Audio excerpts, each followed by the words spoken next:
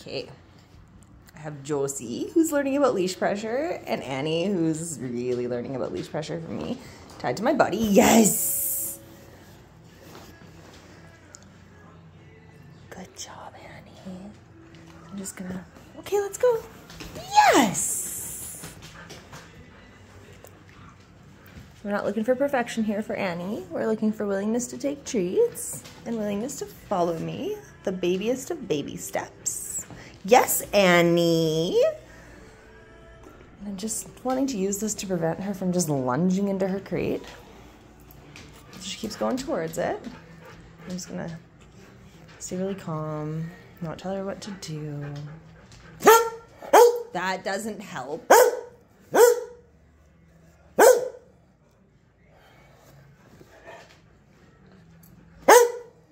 Good job, Josie. let's go. Yes. I'm just kind of normalizing the leash for Josie. Come on, girls. Yes. Oh, is there another spot that she likes to get stuck? Okay, I'm just going to drop that. We're going to slowly get this one in a cage. Okay, let's go. Yes. Ooh. Annie's trying to get in her crate, so I'm just, yes.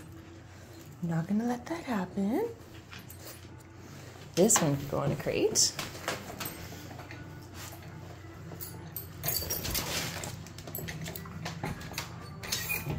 Mm, this is pretty intense for her. I'm gonna check and see where we're at with the little treat.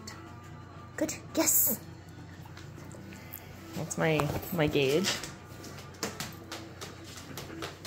Yes! Apollo. Ready? Get it. Go get it. Annie! Oh, buddy, go. Yes! Okay, let's go. Come on. Yes, quick. Nope, we've reached too much. And I think why I know why.